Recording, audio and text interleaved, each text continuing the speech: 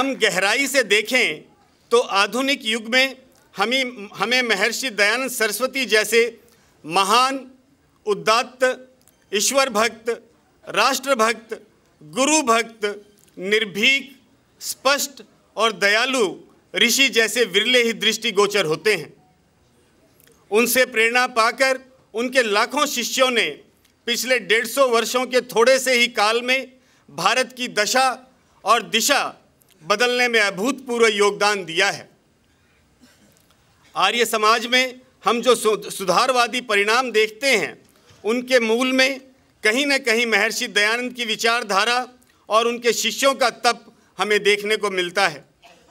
चाहे वह नारी शिक्षा हो, नारियों को वेद पढ़ाने का अधिकार हो, अस्पृश्यता निवारण हो, विधवाओं के पुनर्विवाह का की बात हो, बहुविवाह एवं बाल विवाह निषेध की बात हो योग हो, यज्ञ हो, आयुर्वेद हो, भारतीय स्वतंत्रता हो, अनेक प्रकार के अंधविश्वास, आडंबर एवं कुरुतियों से मुक्ति पानी हो, इन सभी बातों में उनका हमें स्मरण हो जाता है। शुद्ध आंदोलन और घर वापसी जैसे आंदोलनों के कारण ही आर्य समाज के प्रखर प्रखर प्रचारक पंडित लेखराम, महाशय राजपाल, स्वामी श्रद्धानंद सरीखे लोगों ने अपने बलिदान दिए।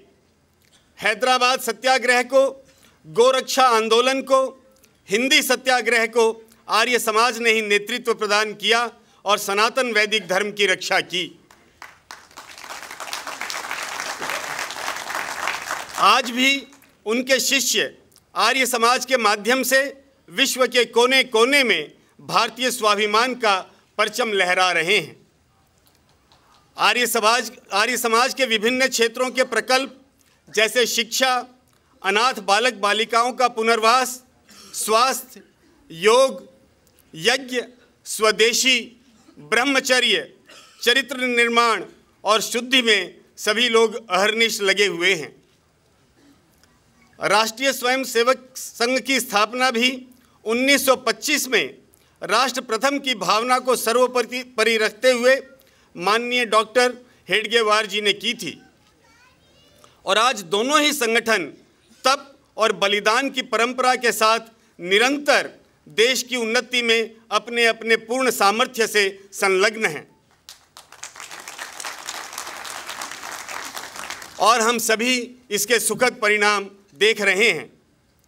आज गुलामी के चिन्ह समाप्त करने का जो भाव हमारे सारे देश में जागृत हुआ है, वह महर्षि के चिंतन को साकार करने की ओर एक बहुत बड़ा महत्वपूर्ण कदम है। महर्षि दयानंद का चिंतन बेहद मौलिक था। वे हमारी उन्हीं जड़ों में, हमें उन्हीं जड़ों में ले जाना चाहते थे, जिनके कारण कभी भारत विश्व गुरु था, जिन वेदों के कारण हम ज्ञान विज्ञान में विश्व में अग्रणी थे, वह वेद ज्ञान कहीं अंधकार में छिप चुका था। महर्षि की सबसे बड़ी कृपा कहें तो उन्हें, उन्होंने हमें वेदों की ओर जो लौटने का मार्ग प्रशस्त किया, वह अपने आप में एक ऐसा कार्य था जिसके लिए ऋषि दयानंद को हमेशा स्मरण किए जाते रहेंगे। कहने में कोई शक नहीं। कोई कुछ कहता है, आर्य समाज सनातन विरोधी है क्या? कई बार तो ये बात चल गई, हम सनातनी हैं जी, आप आर्य समाजी हो।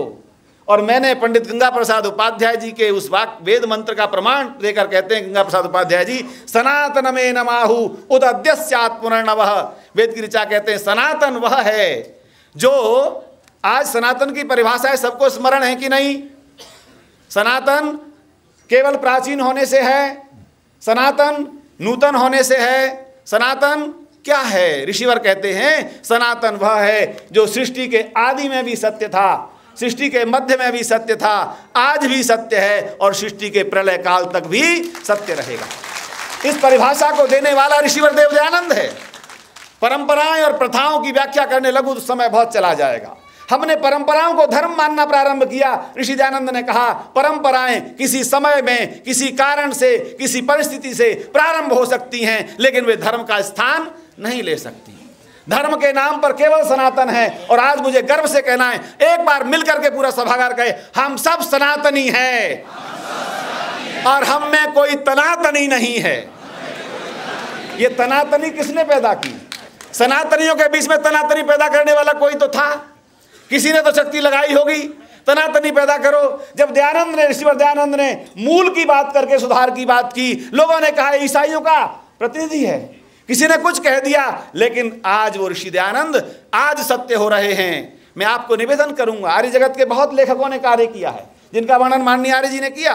पंडित लेखराम हो, गुरुदत्त विद्यार्थी हो, स्वामी श्रद्धानंद हो लाल लाजपत राय हो, भाई परमानंद हो, ये सब वीर वीर सावरकर हो श्याम जी कृष्ण वर्मा हो इन सबको एक बार देखो तो सही, ये किससे किससे ऊर्जा लेकर जले हैं? इनको आग इनको आग मिली कहाँ से है? वो आग दयानंद से मिली है। ऋषिवर दयानंद की ज्वाला को लेकर देश पर आहूत होने वाले, देश पर बलिदान होने वाली, वो आत्मा अगर तैयार हुई तो वो आग मिली थी दयानंद के यज्ञ कुंड से, और वो यज्ञ कुंड हमारे और आपके सबके घर घर में जलने लग जाए तो ऋषि दयानंद की जन्म जयंती सार्थक हो जाएगी।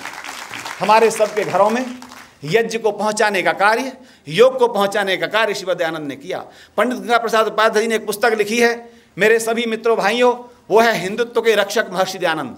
नोट कर लीजिए, हमारे ओर से कार्यक्रम समिति की ओर से पुस्तकें बाहर दी जाएँगी।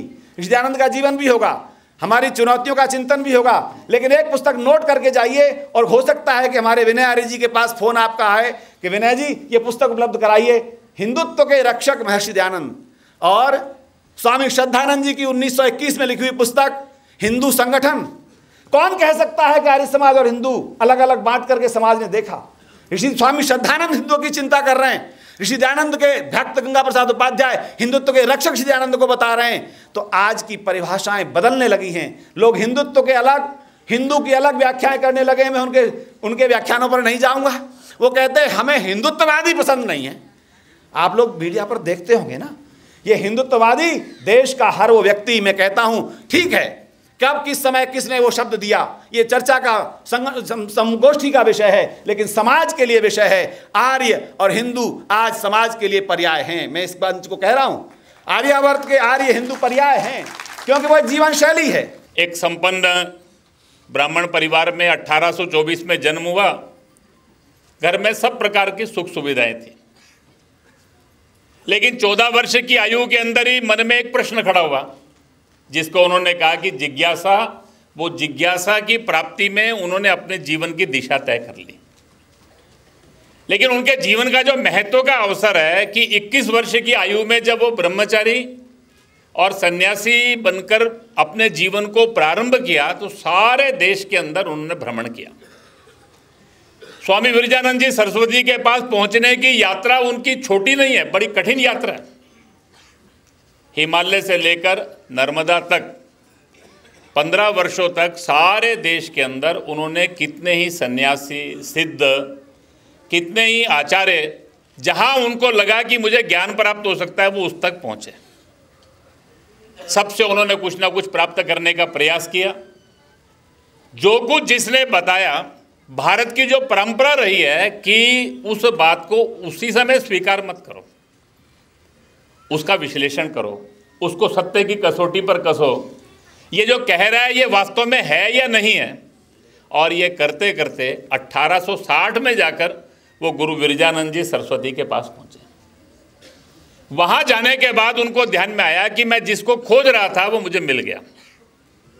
और उन्होंने उनको अपने मार्गदर्शक के रूप में अपने गुरु के रूप में स्वीकार किया और गुरु के रूप में स्वीकार करके वो आसान नहीं था। उनकी सब परीक्षाओं की कसौटी पर खरा उतरना, पूर्ण समर्पित भाव से अनुशासनबद्ध होकर जीवन जीना, उसके आधार पर उनके मार्गदर्शन में उन्होंने अपने जीवन की दिशा और अपने लक्ष्य को तय किया।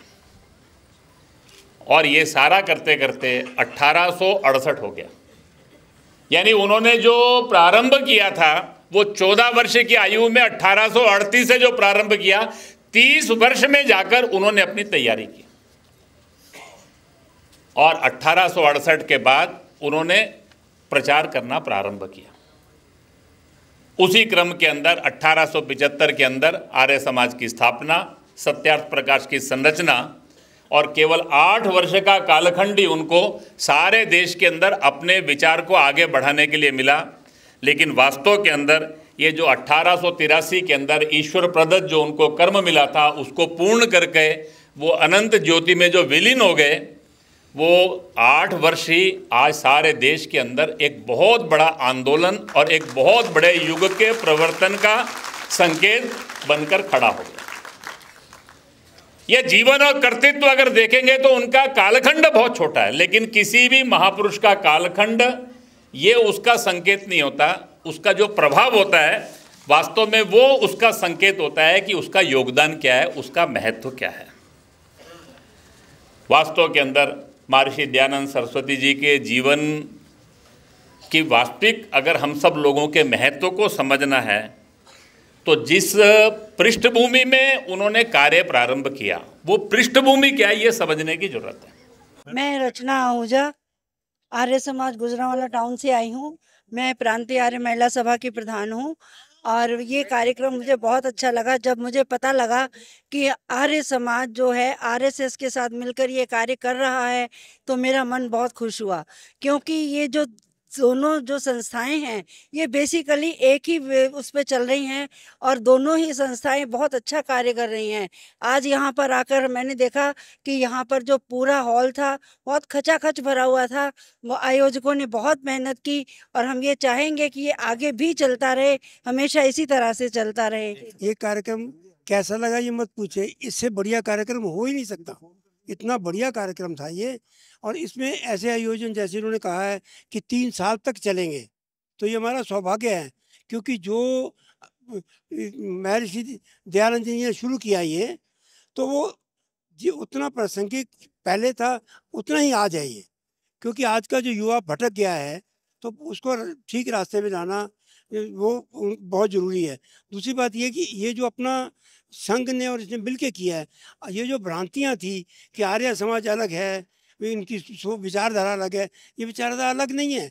एक ही हैं ये सब। हम सब सनातनी हैं। आइए जो अंदर नारे लग रहे थे कि सनातनी तो सनातनी हैं हम। मैं मोहनजीत कौर मेरा नाम है। मैं सिख धर्म जो आती हूँ सिख समुदाय से और इस कार्यक्रम में मैं संगठन से, आरएसएस से जुड़ी हुई हूँ और लगातार इस तरह के कार्यक्रम पहले भी होते रहे हैं और महर्षि दयानंद सरस्वती जी की दसवीं जयंती पे जो ये कार्यक्रम हुआ है, उसमें एक बात निकल के सामने आई है कि जो 200 साल पहले स्थिति थी, वो स्थिति मुगलों के आक्रमण के बाद फिर से वही स्थिति है और उससे बाहर कैसे निकला जाए? आज इस मंच से इस तरह के विचार सुन के इसमें काफ़ी मैंने देखा है कि आज जो ये आयोजन हुआ है, उनमें दर्शकों में बहुत ज़्यादा युवा थे। युवा युवतियाँ थी तो उनके अंदर इस तरह के कार्यक्रमों में उनको लेके आना अपनी विचारधारा को लेके जाना ये आज के समय की बहुत बड़ी ज़रूरत है। इस कार्यक्रम में सबसे अच्छी बात रही जो महर्षि जी चाहते थे कि हम वेदों की ओर लौटें। मुख्य उसमें यही कहा कि हम अपने मूल अपने वेदों में की ओर लौटें क्योंकि आज भी जितनी समस्याएँ हैं उनका सबका समाधान वेदों में है। आज भी वो उतने ही प्रा, प्रासंगिक हैं क्योंकि चाहे त्रेता के राम हो चाहे द्वापर के कृष्ण हो चाहे उन्नीसवीं सदी के महर्षि दयानंद सरस्वती जी हो, सब वेदों के पर चले, तभी आज भी वो उतने ही प्रासंगिक और हमें अपनी सब समस्या और इस कार्यक्रम को सफल बनाना है तो हमें वेदों की ओर लौटना होगा। आज यहाँ इस कार्यक्रम में आने के बाद सबसे अच्छी चीज़ मुझे ये लगी कि राष्ट्रीय स्वयंसेवक संघ, जो राष्ट्रीय विचारों के पुनरुत्थान के लिए काम करने वाली सबसे बड़ी संस्था है वो और वैदिक विचारों के पुनरुत्थान के लिए काम करने वाली सबसे बड़ी संस्था आर्य समाज। दोनों के संयुक्त तत्वावधान में जो कार्यक्रम हुआ है, बहुत अद्भुत रहा। यहाँ के वक्ताओं को सुनने के बाद लगा नहीं कि कोई आर्य समाज के वक्ता बोल रहे हैं या संघ के वक्ता बोल रहे हैं। एक एक एक विचारों के साथ पूरे संभाव से जो वक्तव्य सुना है आशा ये करते हैं कि आने वाले समय में प्रत्येक प्रांत में, प्रत्येक ज़िले में राष्ट्रीय स्वयंसेवक संघ और आर्य समाज साथ मिलकर कार्यक्रम करें तो लोगों को और इसमें अधिक मार्गदर्शन मिलेगा और स्वामी दयानंद सरस्वती जी ने जो एक वैचारिक क्रांति जो लाई थी, वो आज उफान पर है और समाज को और देश को आवश्यकता है कि आगे समाज और संघ के साथ जुड़कर इस इन चीज़ों को आगे बढ़ाएँ।